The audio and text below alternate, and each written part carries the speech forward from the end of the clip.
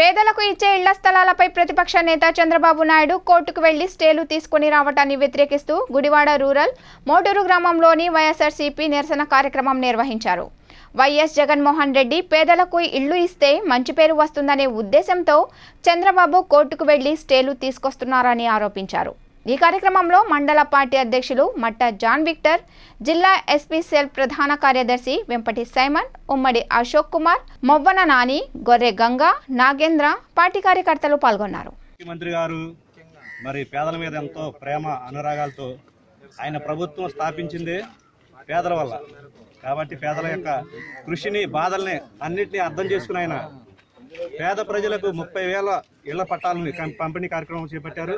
మరి అలాంటి కార్యక్రమాన్ని చేపడితే దొంగనాయుడు పొప్పు నాయుడు ఆడి కొడుకు కలిసి మరి స్టే తీసుకొచ్చి పేదలకు ఇల్లు పట్టాలు పంపిణీ జరగకుండా ఆపించడం అనేది చాలా దుర్మార్గమైన చర్య.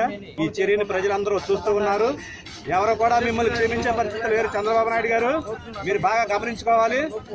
ప్రతిపక్షం అంటే మీరు ధర్నాలు చేసి పేదలకు ఇల్లు ఇప్పించాలి పరిస్థితి.